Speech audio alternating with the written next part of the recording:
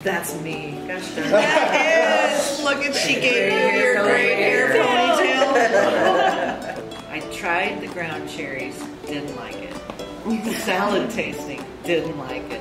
Thank you for letting us come.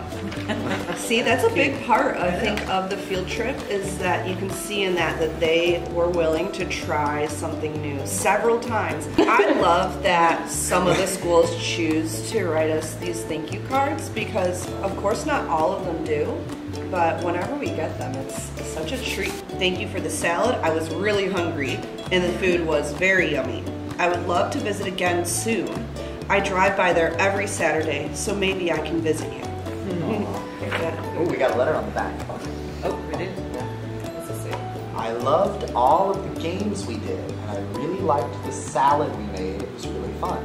Mara from Milford. How many times have can you hear kids saying the salad was so yummy? And we changed the name from salad to veggie bowl. They're trying it because it's a veggie bowl and not salad is important. Mm-hmm. But in the end, they're like, I like salad. Your guys' farm is and was awesome.